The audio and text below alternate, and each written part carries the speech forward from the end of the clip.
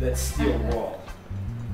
And then he'll also have kind of the tip of his tail will be steel wool. That's And then, um, and then what I do in my staining process is I do a two-part preservative process that I'll do once the steel wool is on his head.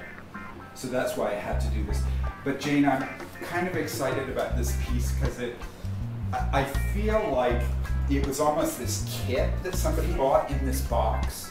So they opened the box and they built this monkey. But it also has kind of a Victorian feel with that doorknob. It, well, it, I, and what I like is you really feel like he's in motion. The Yeah. back legs are so, well, the front and the back, the legs, period, are so in motion. And then he's got he's got the white white bike kid's bike tire underneath here, and then he's got the mountain bike tire just to give him a little kind of pattern. So where do you get all these backpacks?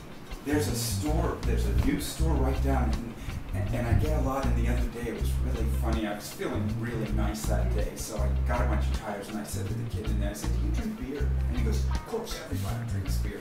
So I went out beer. And I come back in with this case of beer, and he's like, "Oh, dude, this is really cool." I said, "Well, I get so many tires from you guys, and you don't charge me. This is the least I could do."